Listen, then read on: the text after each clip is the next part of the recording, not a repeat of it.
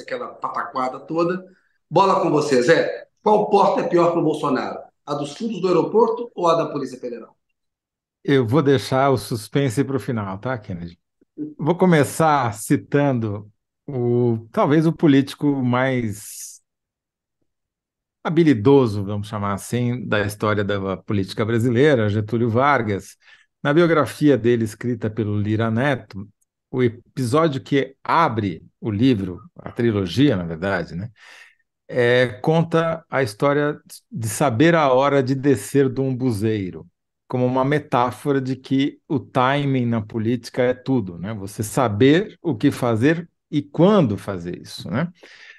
O caso do Getúlio Vargas, ele tinha aprontado, derrubado um quadro do ídolo da família junto com um amigo e apavorados com a perspectiva de uma surra, os dois subiram num buzeiro e ficaram lá mais de 24 horas esperando o, o ódio uh, se transformar em apreensão e de maneira que quando ele desceu do buzeiro, em vez de ser açoitado pelo pai, foi abraçado pela mãe com alívio, né? Então, aí ele aprendeu a primeira, talvez a maior lição da vida política dele, que tudo tem um momento certo. E ele fez isso quando voltou para disputar a presidência da República, depois de ter ficado, ter sido ditador é, de 30 até 45, né? Voltou na eleição, um, esperou passar um mandato e voltou na eleição seguinte e foi consagrado pelas urnas. Depois teve o fim trágico do suicídio. Mas só estou falando tudo isso porque o Bolsonaro, a meu ver, não sabe a hora de descer de um buzeiro. Ele está descendo lá de, da casa do Pateta para Brasília, mais pressionado pelas circunstâncias do que porque escolheu sabiamente esse momento.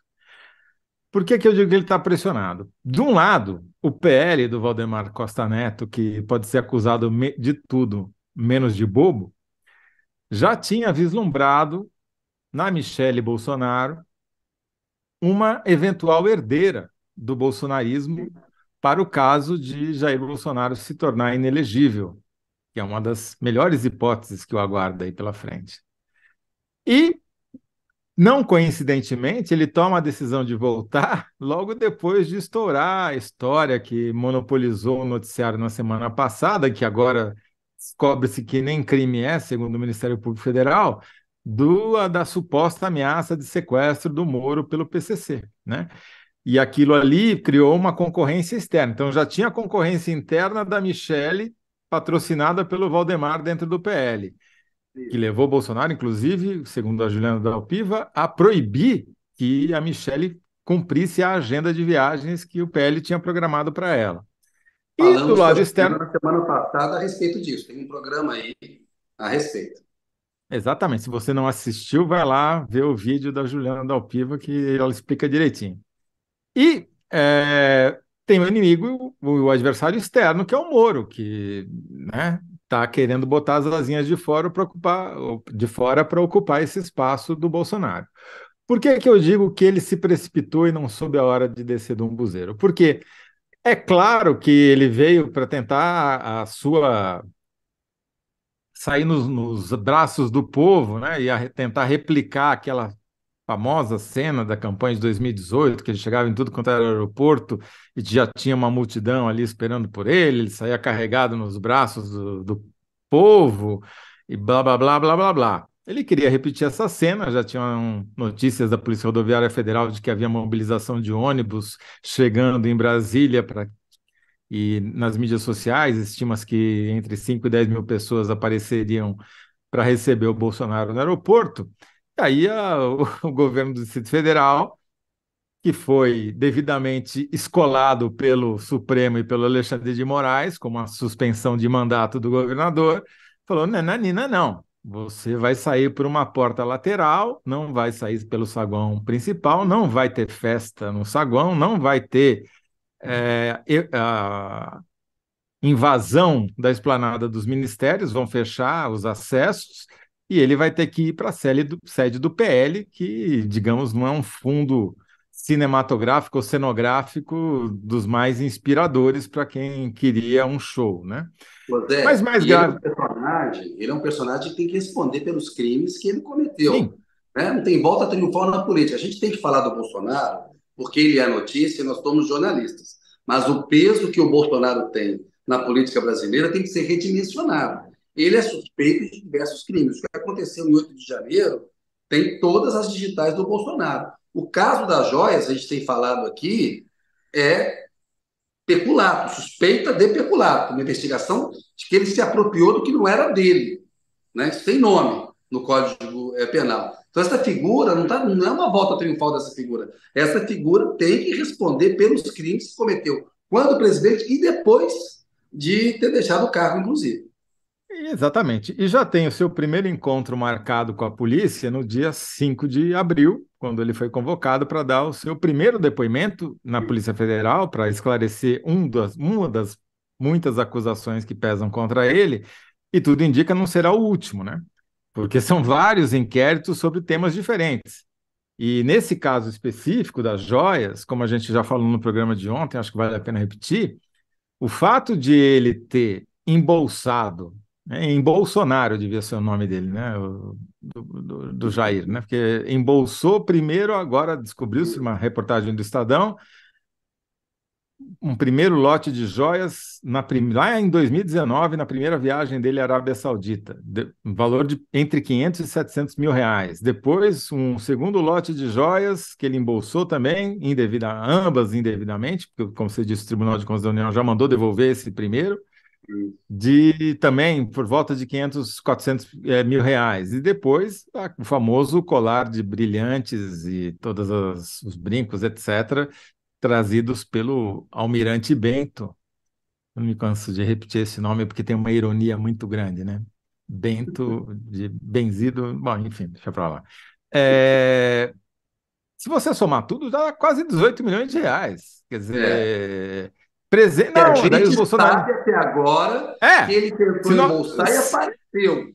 É se o Adriana Fernandes e o André Borges não revelarem um quarto ou um quinto lance de. Agora, o que, que mostra? Mostra um, uma tentativa de suborno continuada por parte dos governos árabes, principalmente da Arábia Saudita, em cima do presidente brasileiro que aceita esse dinheiro. E os bolsonaristas dizem: não, mas foi um presente. Bom, por esse critério, então, se fosse o Lula tivesse recebido de fato o, o triplex, seria a mesma coisa, um presente me, bem menos valioso do que os 18 milhões. Então, enfim, a conta não fecha. Eu não acho que isso vá ser um problema para a popularidade do Bolsonaro nesse núcleo duro do bolsonarismo, que a gente ali já mencionou aqui, está em torno de 20%.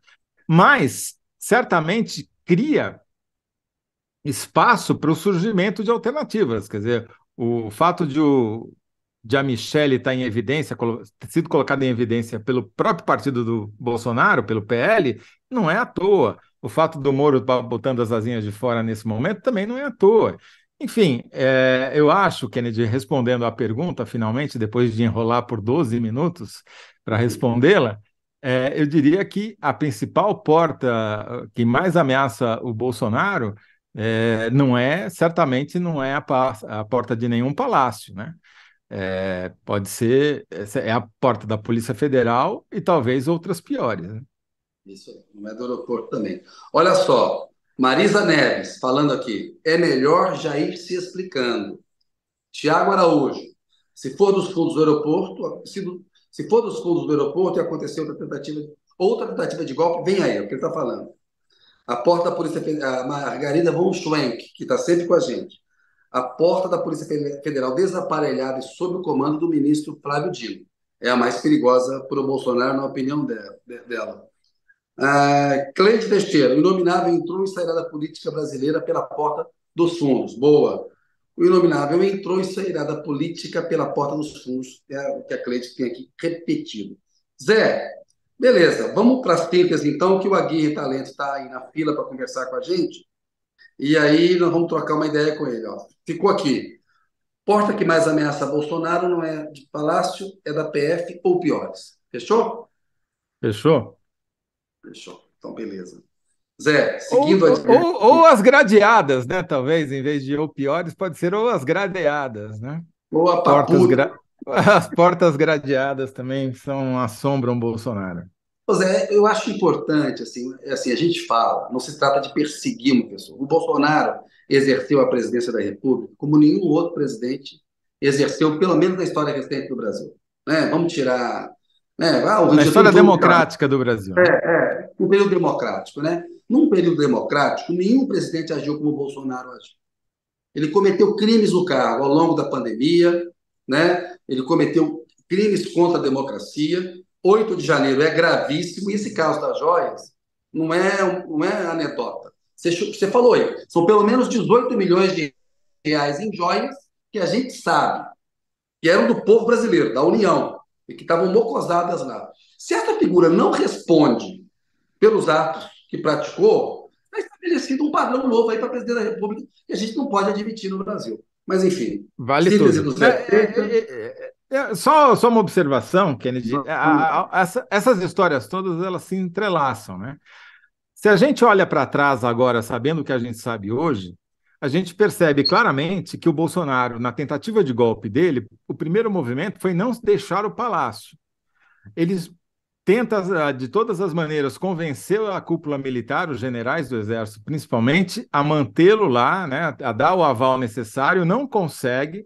Vamos lembrar que o único ato público que ele vai da entrega da, do, do, da, das espadas para os cadetes da, né, da, da, Academia Militar de Agulhas Negras, com a presença de todos os generais ali, não dá certo. Aí ele manda desocupar. Não tinha nada de depressão, com derrota, nada. Imagina. Não. Era plano. Imagina. Era é tudo, isso, era tudo planejado, certo? É isso. Aí isso não dá certo, ele fala: bom, plano B. Plano B é sair do Brasil e tentar voltar em triunfo, como ele está tentando fazer amanhã. Né? É... Tanto é isso que ele manda pegar as joias e esconder na fazenda do Nelson Piquet. E manda tentar resgatar as joias apreendidas pela Receita Federal no aeroporto de Guarulhos. Não consegue. Ou seja, já estava fazendo butim ali foge para os Estados Unidos, na expectativa de voltar depois do golpe de 8 de janeiro. O golpe é mal sucedido e ele volta agora numa circunstância fragilizada, por conta de ter se tornado investigado em crime de roubo, prevaricação. É, é, ficar né? inelegível vai sair barato para o Bolsonaro. Também Se acho. Ficar inelegível vai sair barato. A democracia brasileira não devia permitir isso, não. Né? É. Então, Kennedy, é, eu acho que, assim, tem uma coisa que ele está apostando é que piore a, a, situação econômica, daí a avaliação do governo Lula, e que comecem a emergir manifestações públicas contra o governo e a favor dele. Essa é a aposta clara do Bolsonaro e vai ser o um movimento dele daqui para frente. Agora, isso vai depender de outros atores, inclusive o Banco Central. Né? Exatamente. E tem um marco fiscal que o Lula está adotando uma estratégia parecida com a do primeiro mandato. Ele vai, é, vai fazer uma coisa que vai trazer impacto do ponto de vista econômico, pelo que eu apurei lá. Zé, vamos seguir adiante. Bloco O Furo, vamos falar com o craque aí da apuração,